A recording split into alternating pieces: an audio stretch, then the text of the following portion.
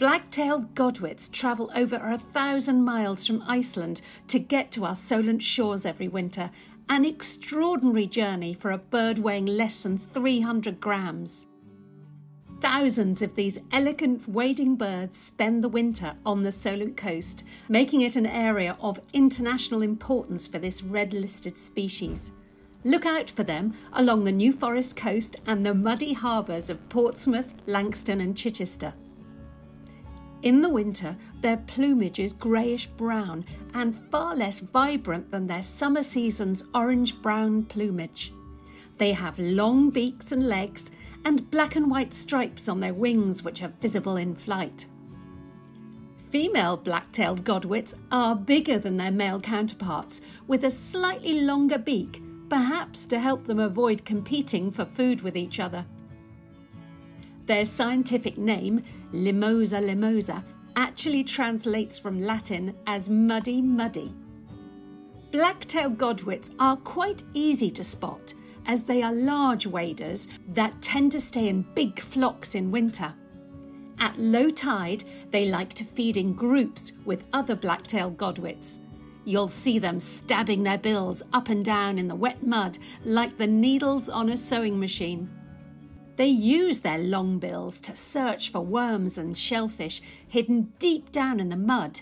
The end of a godwit's bill is flexible to help them feel around for tasty worms. At high tide, they roost together in big groups.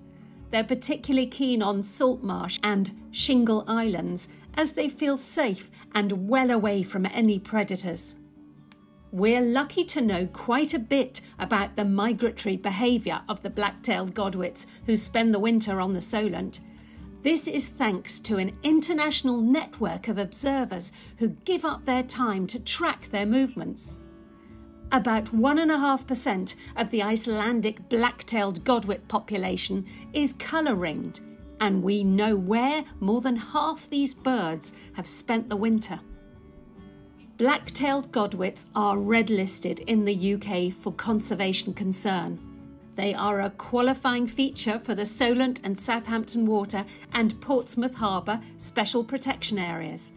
That means when the sites were designated, a nationally significant number of the species use the areas. It's not always easy to tell black-tailed godwits apart from bar-tailed godwits. It's most straightforward when they're in flight.